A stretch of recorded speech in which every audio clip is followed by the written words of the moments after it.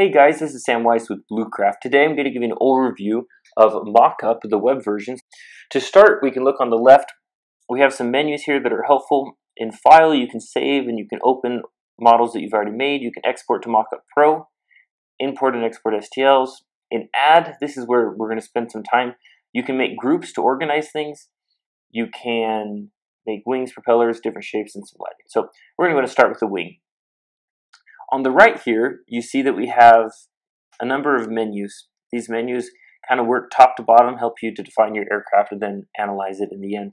We have our component tree that shows all your objects and what's connected to what. So in object, we can rename our lifting surface. We'll call this one main.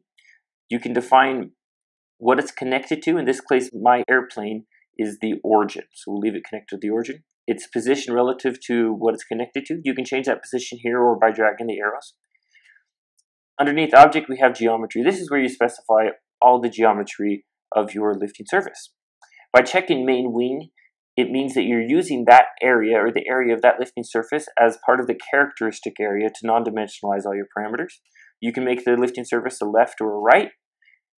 You can do a Y offset from the center to symmetric displacement different from the Y position. We'll put that back to zero. You can select the span, maybe we'll put five for this. And mounting angle, maybe five degrees. Amount of washout, you'll notice here if I look on the side, I'll put a ton of washout so we can see. It twists that wingtip. We'll go and put it two degrees for now. The amount of sweep, we're gonna do a delta wing or flying wing today, so we're gonna put a lot of sweep in there. And then just a, a little bit of dihedral. So you can see we're already starting to take shape. The root airfoil and the tip airfoil, we can specify some numbers for that. We're going to go ahead and put in maybe 0.4. There we go. And here you can specify the parameters for your lifting surfaces. At the top you see for graphics only which airfoil to use. You can put any four digit NACA here and it will work. So I could put in a symmetric airfoil just to show. You can see how it changed right there. I could put an even bigger one if we wanted. See how there's a symmetric NACA airfoil.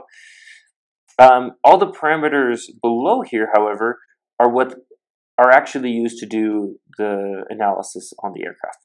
This is data that you can get from websites like airfoiltools.com. So we'll go ahead and leave all that alone. Again, the wingtips, same stuff. And the span-wise segments is how many how many times we cut up this wing when we analyze it. 40 is a pretty good number. And then control surface. So we're going to click, yes, this lifting surface has a control surface. Here you can change all the, the values for that control surface. I'm going to go ahead and put in a root span ratio of maybe 0.5. We'll have a tip span ratio of 1. It can go all the way out to the tip. We'll leave the flap fractions at the root and tip. And then this is the mixing. So when you deflect the elevator, how much um, how much does this surface actually deflect? So this is going to be an elevator and a little bit of ailerons. Well, we'll do all the ailerons. So now with this flying wing, we can deflect the ailerons or the elevator and it will mix appropriately. So that's the geometry. We'll close that. Actually, we're in geometry, let's go ahead and add some wing tips. We're going to add some wing tips there. I'm going to call this wing tip and we're going to connect it to main. We're going to leave the position, come here to geometry, put the dihedral up to 90. Oh, there they are. Take the span down to 0.5. Take the tip chords to maybe 0.2. And we'll put some sweep, some more sweep on them. Yeah, maybe 35 degrees. Perfect. So now we have wingtips as well. We'll make sure down here it they do not have control surfaces, so we'll get rid of that. All right, so now we have a flying wing. The material you can select um, a part and just change the color, just kind of change the viewing for for the aircraft. So we'll just make it orange for, for now. Condition, this is where you specify its angle of attack, we'll put that at 5. A side slip angle, um, and then the deflection of all your surfaces. So like, I'll show you here that the mixing, I'll put the elevator at 15, you can see that it deflected the, you know, both of those down at 15. And then I can put ailerons at maybe 30 degrees. And you can see it change that deflection, increasing the deflection of the one and decreasing that of the other. So they're mixed, mixed properly. In reality, we'll put this down to maybe 5 degrees and put this down to maybe 10 degrees. So there you can see the control surfaces deflecting. So that's the condition. And now we'll go to the analysis. There are a number of different functions you can run. Forces and moments, derivatives, aerodynamic center, stall, and distribution.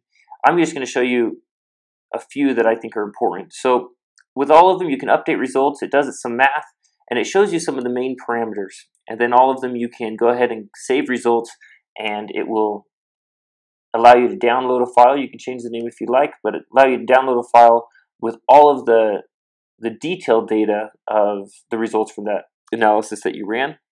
Derivatives will, of course, give you the performance derivatives, really useful in the aircraft design.